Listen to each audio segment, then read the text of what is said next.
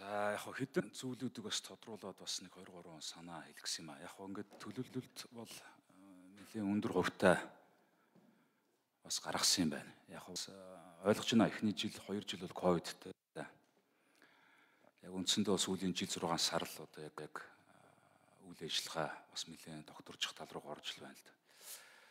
Нэгдүгürt анхаарах юм бол энэ төрийн зохицуулттай байгаа энэ салбарууд дээр арай нэг жоох өөр бодлого гаргаж ямаар байна. Буцаал 90 он орох шахуул юм болж шүү дээ. Энэ чинь өвөлжингөл тог тасрал.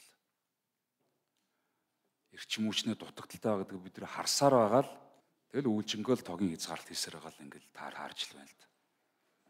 Нэг цахилгаан станц барих гэхээр бүгдээрээ бөөнөрөө гүйж очиод тэгээ фэйсбүүкийн хэдэн постостоос айгаал тэгэл цахилгаан станцын ажлыг зогсоочдөг. Энэ байдлаас энэ хизээ ангижрах вэ? Одоо ингээ хөдөө аж ахуйн салбар харалт. Дөнгөсөн жил 8.5% уналттай. За одоо энэ жилийн малын олон хорогдолтоор хэдэн чуу гарах юм байна. Махны үүнийг чөлөөлөхгүй бол энэ хизээч энэ мал аж ахуй тооноос чанар руу ер нь бол шилжихгүй шүү дээ.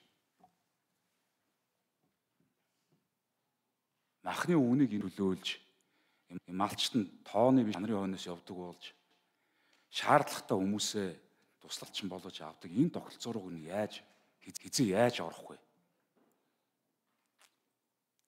Тэгэл яг энэ хэвэр нь хадгалах зорилготой байт юм уу? Яг ингээл асуудал гарахаар тийш очивол зээлэн тэглэнлэг нь үүс барьж гүгээл энэ юм байж болохгүй шүү дээ юм бол. Нийгмийн даатгалын өмнөөс нь төлнө гээл. Тэр усууд чи тийм ихгүй байгаа шүү дээ. Тэр ус чинь чөлөөтэй аж ахуйгаа эрхлэмээр байна. Нэг л их баахан харж үтсэн л хүмүүс яваад байдаг. Тэгээ сангуудын ажиллагаан дээр бас ингээд юмнууд харлаа л Тэгээ энэ сангуудын үйл ажиллагааг харахаар ер нь төрийн оролцоо ер нь бүх салбарууд асар өндөр болсон байна. Төсөв их мөнгөтэй. Яг ингээ сая ярьж байгаа хүнс хүнс үдэ аж ахуйн сангийн эргэн төлөлт нь бол 20% тал байсан шүү дээ. Тэгээд сая корпорац бол 90 солио явсан.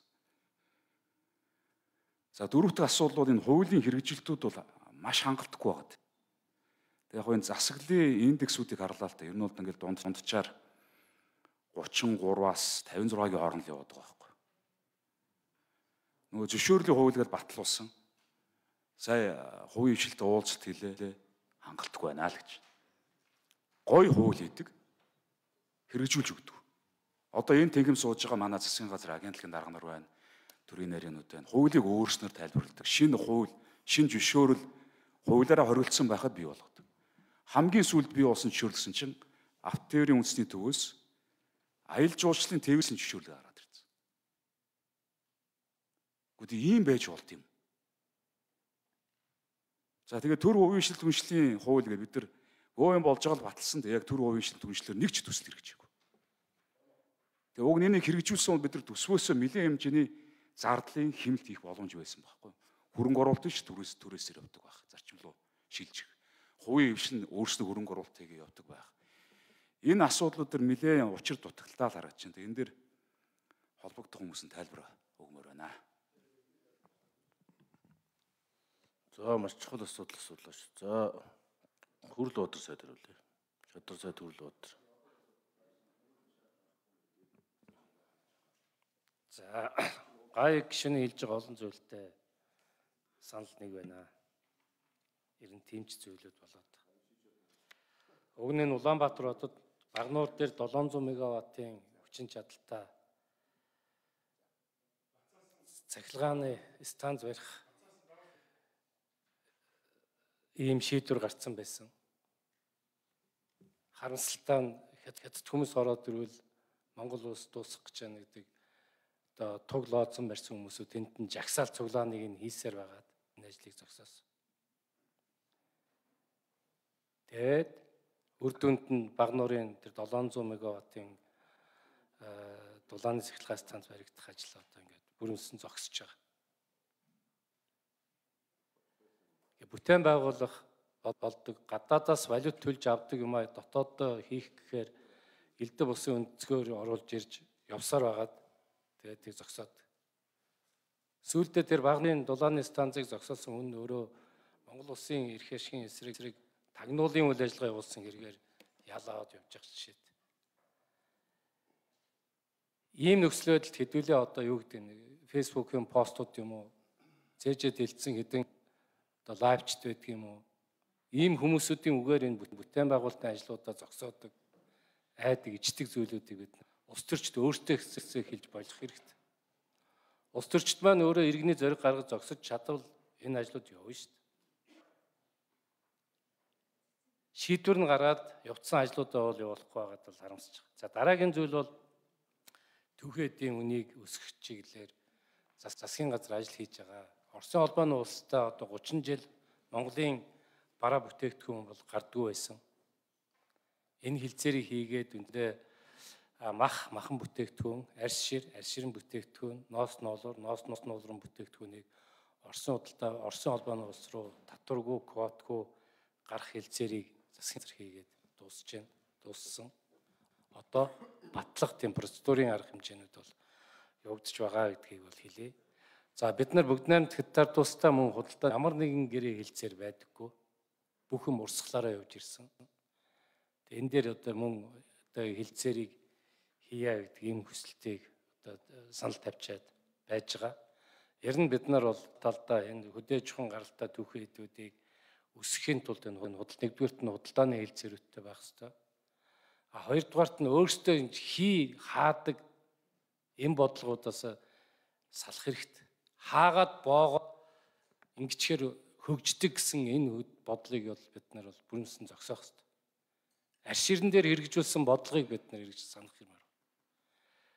70 мянга хүрчээсэн, 40 мянга хүрчээсэн, 80 мянга хүрчээсэн, 10 мянга хүрчээсэн, 5 мянга хүрчээсэн малын одоо адуун, үхрийн, хоньны, ямааны энэ арширууд одоо хөд үнгүү хаягдаад явж байгаа. Яагаад? 2013 онд Женко Батулах хөдөө аж ахуйн сайд байхдаа Норвегийн алтууыг ерөнхий сайд байхдаа хааж зогсоос үрдүн л юм шүү дээ.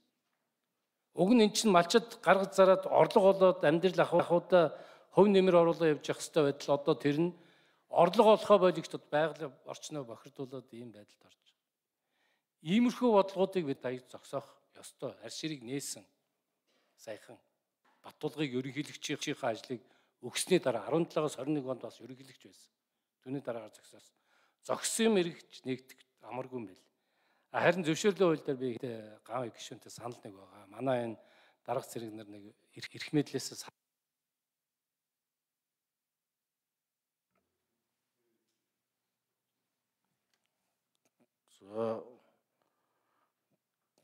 Сандгийн бэмцэгт сайд гишүүн зонтой хөгжлийн сайд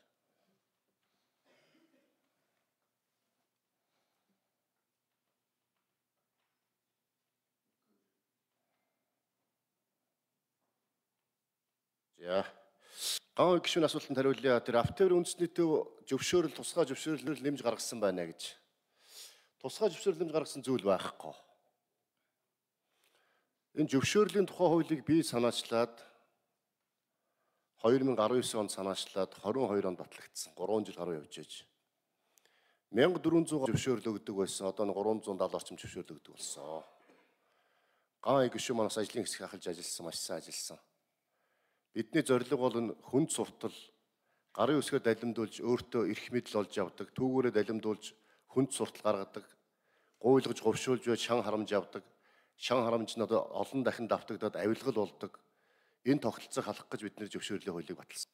Энэ их хурлын бас нэг хийж баталсан нэг том шийдсэн асуудал бол зөвшөөрлийн тухай хууль. Ингиж гарын үсгээ үнэлдэг, сумын засаг дараагаас ахуулаад засгийн газар хүртлээр баасгаа зөвшөөрөл өгдөг үүгээрээ гарын үсгээ үнэлдэг энэ байдлыг таслан зогсоож байгаа. Таслан зогсоож байгаа. Тийм болохоор манай салбарт одоо юу гэдэг нь шинээр тусгай зөвшөөрөл бий болгосон зүйл нэг ч зүйл байхгүй. Аль болох өрсөлдөөнийг дэмжиж байгаа. Чөлөөтэй хувийн хвшлийг дэмжиж байгаа. Ийм бодлого явуулж байгаа. Гай гүшөнтэй санал нэг байгаа. Хувийн хвшлээ дэмжих ёстой, өрсөлдөөнийг дэмжих ёстой. Бүгдэд тэгш боломж олох ёстой. Одоо тэр таны яриад би зөвшөөрлөг бол улс хоорондын автобус ус тээвэр дээр өгдөг. Урд нь өгдөг байсан зөвшөөрөл одоо өгч байгаа. Энэ зөвшөөрөл олон улсын гэрээтэй хоёр улсын хооронд засгийн хооронд нөгөө C зөвшөөрөлтэй адилхан засгийн газрын хоёр улсын засгийн хооронд хэлэлцээртэй гэрээтэй учраас өгдөг зөвшөөрөл. Энэ зөвшөөрлийг хоёрхан аж ахуй гэж авдаг байсан. Дэлгэрэх тех эрдэм транс гэж. зориуд энэ хоёр аж ахуй нэгж зориулаад зөвшөөрлөх шаардлага босхын өндөр болгоцсон байсан. 20-оос доошгүй автобустай байх хэвээр, 10-аас доошгүй жил ажилласан туршлагатай байх хэвээр. Энийг задлсан намс босхын намсгсан. Өнөөдөр орон нутагт замын үүд амьдарч байгаа иргэд автобусаар аялал жуулчлалын үйлчлэг хийх бололцоотой болгосон. Олон автобус хэрэггүй. Олон жилийн туршлага хэрэггүй. Бүгдэд тэгш боломжийг олгоё. Хэн нэгэнд давуу олохгүй. Урд нэм давуу байдсан юм зөндөө байсан. Манай Батбол төрийн нарийн бичгээр олгодог байсан юм байна лээ. А энийг халсан. Ийм байдлаар үндсэндээ бол манай салбарт бид нар аль болох өрсөлдөөнийг дэмжиж байгаа тэгш боломжийг бий болгож байгаа. Ингэж энэ салбар өсөж байгаа. Өнөөдөр замын үүд дээр бас тээврийн асуудал автомашины асуудал одоо үн өсөж байна гэж 25 мянган оноо тээвэр хийдэг байсан одоо 2500 оноо тээвэр хийдэг гэсэн. Тээвэр хийх машин болгон чөлөөтэй явуулдаг болсон. Өнөөдөр эрэлт нэмэгдэх юм бол үн өсдөг, нийлүүлэлт нэмэгдэх юм бол үн буурдаг. А тэгвэл замын өдөр хэдэн зуун машин цааталт ирээндээс хэдэн зуун машин байж байгаа. Хоорондоо өрсөлдөд өнөө буулгаад тээвэр хийж байгаа.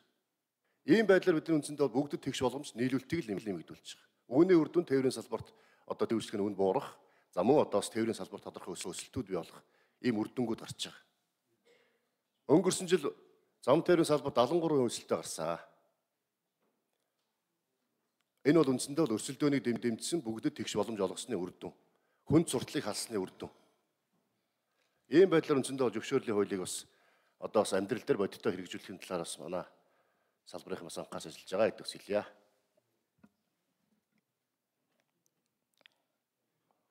За болцсон байгаа юу гэх юм. Тэгээ үе гişүү бол маш чухал юм асуугаад байгаа. Манайхан дандаа макро макро эдийн засаг яриад байдаг. Яг микро эдийн засгийн түвшинд одоо энэ цахилгаан станцыг 87 онд энэ Багнуурыг түшиглэх цахилгаан станц байгуулах тез үедээ 5 жилийн төлөвөнд орж исэн юм билээ. Тэрнээс хойш одоо GDF use гэл барих гэж хахад нь 5-7 цахилгаан станц барьна гэж унгаасан. 5-7 цахилгаан станц барихаар Багнуурын цахилгаан станц барьна гэж унгаасан. Багнуурын цахилгаан станц одоо унгаасан. Одоо 5-7 цахилгаан станц барьсан чинь шүүхтэр зарим нэг хүмүүс одоо мэдээлэл нэг шүүхтэр гацаацсан. Одоо эрчим хүчний дутагдлалд Монгол улс хизээ мүзээг ороход бэлэн болцсон. Эрчим хүчээ хязгаарлаад явж шүү дээ. Энэ бүхэн дээр одоо энэ 50 бэх сайд, хойжл сүрэн сайд нь бол тодорхой хариулт хурал дараа нөгөө шүү энэ гацаадаг тэр ямар хүчин үйлчлдэг юм тэнийг. Одоо мах махны үн чөлөөлөх хэрэгтэй яг малын тоотлогоос чоож ерөөсөө л энэ үн баригдсан үн хэм дугаагаас малчид малаа өсгөж байна гэж өөрсдөө хэлээд байгаа шин. Аргатаада баянтаада биш. Сургалтын төлбөрт нь амьдрах ахмад нь хүлцэхгүй болохоор тоотлогоо өсгөхөөсөр аргагүй ч. Тэгтэл махны үн чинь хэд ихэн нугарч энд ирж байна. Биднүүсийн зарж байгаа малын махны үн эс 5-аас 7 дахин нуурж авахдаа зарагдсан байлээ. Энэ дундын ченж энэ алдаа үйлдвэрлэлийн тогтолцоогоо шинжилж өгөөч. Аар бол 70 мянгаар төгрөгөөр зарлаа гэж сая өстө баахан хэлэн боллоо. Цагаан сараар гэж. Биднес дээд нь 20 мянгаас дээш малч зарж үзээгүй. Хамгийн дээд бол 20 мянгаар хүрж байгаа. Тэгээ одоо худалдаа авсан байвал яах вэ гээл одоо 70 мянга гэдэг нь явж идэг. Ингиж ярьж байгаа энэ бэлтгэлийн тогтолцоо худалдааны хууль байхгүй, худалдаа бэлтгэлийн тогтолцоо байхгүй, микро эдийн засгийн үүдний нүсийг анхаарахгүй болохоор цахилгаан станцаас ахуулаад мал мах хүртэл инфляцийн гол шалтгаан болоод байна шүү дээ, тийм ээ. Үнийн өсөлт юм. За одоо сайн хүүгэн гамбат гэж.